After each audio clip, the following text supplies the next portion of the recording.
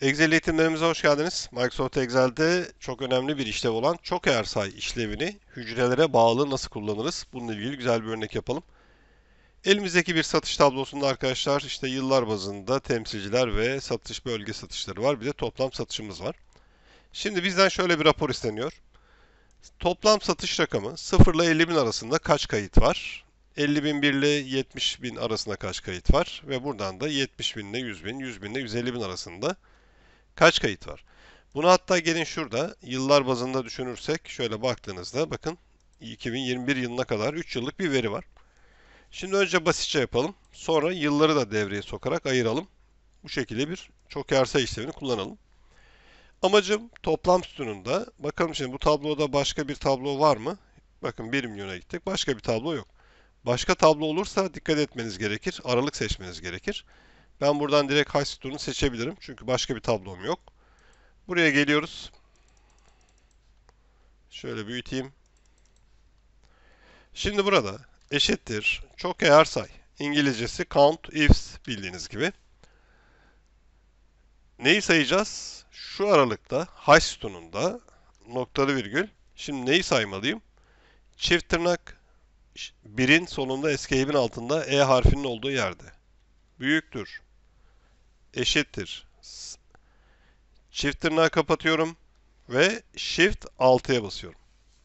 Gelip sonra şuradaki hücre adresini seçiyorum. Bunu parametrik yapıyoruz. Yoksa direkt şuraya şöyle yazsaydım şuna gerek kalmayacaktı. Ama burayı değiştirirsem, rakamları değiştirirsem o zaman formül değişmeyecekti. Onun için büyüktür, eşittir, çift tırnağı kapatıyoruz. Shift 6'ya basıp birleştirme işaretiyle bu hücreyi seçtim. High sütununda bu hücreden büyük olanlar ve aynı sütunda noktalı virgül çift tırnak küçüktür eşittir tekrar çift tırnak shift 6'ya bastım ve buradan da bakın direkt bunu seçtim.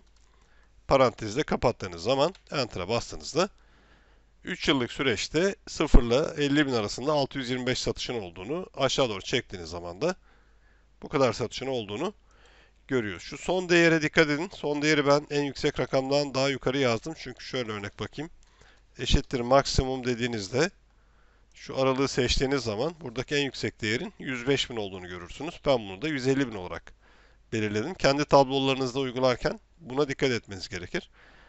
Eğer tek sadece 100 binden yukarı gibi bir şart varsa bakın onun yerine gelin buraya bir eğer say kullanmak gerekecek. Burada onun yerine şöyle yüksek bir rakam yazın.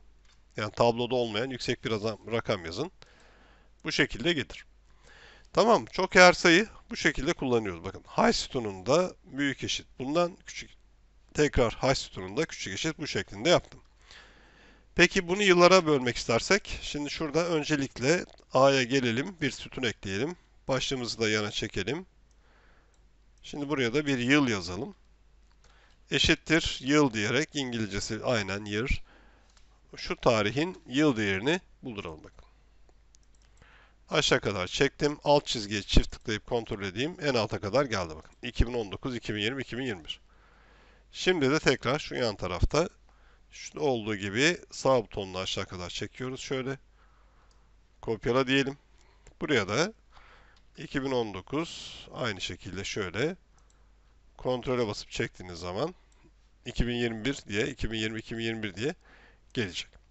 Şimdi burada 2019 yılında 0 ile 50 bin arasında kaç değer var? 2020'de kaç değer var gibi. Bunu bulalım. Eşittir diyoruz. Aynı şey yapacağız. Çok eğer say. H I sütununda bu sefer artık burası oldu. Noktalı virgül, çift tırnak, büyüktür, eşittir, tekrar çift tırnak, shift 6. Şu sıfırdan büyük olanlar. Şimdi bunu yana doğru çekeceğim için burada sabitleme yapmam lazım. Şu i'yi buradan seçelim. F4'te sabitliyoruz. Burası hiç değişmeyecek. K9'un neyi sabit olacak?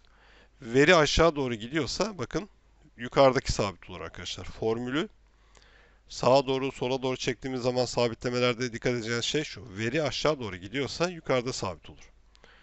Neden? Buradan işte K9 hiç değişmeyecek değil mi? Yana doğru çektiğimiz zaman ama aşağı doğru çektiğimiz zaman K10, K11 gibi değişecek. F4'e bir kere basarsanız hücre sabit. İkinci basarsanız satır sabit. Üçüncü basarsanız sütun sabit. Noktalı virgül. Aynı şekilde I sütununda tekrar F4 ile sabitliyorum. Noktalı virgül. Çift tırnak küçüktür eşittir. Tekrar. Çift tırnak shift 6. Bu sefer neresi sabit? Şurası. Aynı şekilde bunu da tekrar şöyle L'yi sabitliyoruz. Burası da sabit kalacak. Noktalı virgül. Şimdi bir de neyimiz var? Yıl şartımız var. Buradan geliyoruz. Şöyle A sütununu seçip F4'ü bunu da sabitliyorum. Noktalı virgül. Neyi sayacağız? Şunu. Şimdi bunun neyi sabit olacak? Bakın veri sağa doğru gidiyor. 2019-2020 sağa doğru gittiği için sonunda ne var? Rakam. O zaman bunun rakamı sabit olur. İki kere F4'e bastığınız zaman rakamı sabitlersiniz. Parantezi kapatalım. Enter'a basalım. Ve bunu aşağı doğru çektiğiniz zaman ve yana doğru çektiğiniz zaman bakın şöyle normal yıllar bazında da değerlerin geldiğini görürsünüz. Bakın dikkat ederseniz 0-50 bin arasındaki satış adetleri toplamları değil miktarları değil bunlar sadece fatura kesilen fatura tutarı 2019'da yüksekken 2020'de düşmüş 2021'de tekrar yükselmiş gibi şu analizlere bakın buradan rahatlıkla yapabiliyoruz. Formülü de bu şekilde kullanabiliyoruz. Bu aynı örneği pivot tablo ile de daha rahat yapabiliriz. Kullandığımız eğer versiyonlarda pivot tabloyu kullanarak gruplandırma özelliği sayesinde daha rahat yapabiliriz. Oradaki fark şu arkadaşlar. Pivot tablolarda bunu yapmanız gerekirse aralıkların eşit olması gerekir. Bakın burada çok say kullandığımız için aralıkları kendimiz istediğimiz gibi belirleyebildik. İstatistiksel açıdan bunların eşit aralıkta gitmesi gerekir. Doğrusu o. Yani 0 50 bin, 50 bin, 100 bin, 100 bin, 150 bin gibi gitmesi gerekir ama bazen kota hedeflerinde, satış hedeflerinde işte 0-50 bin arasındakiler sonra 50 ile 70 bin, 70 bin, 90 bin gibi özel bir durum yapabiliyoruz. Bu şekilde eğer kullanırsak çok her sayı kullanmak zorundayız. Yani aralıklar birbirine eşit değilse direkt çok her sayıda yapacağız. Peki aralıklar birbirine eşitse o zaman gelin bunu bir sonraki eğitim videosunda pivot tabloyu kullanarak yapalım. Pivot tablo ile bunu çok daha rahat bir şekilde yapabiliriz.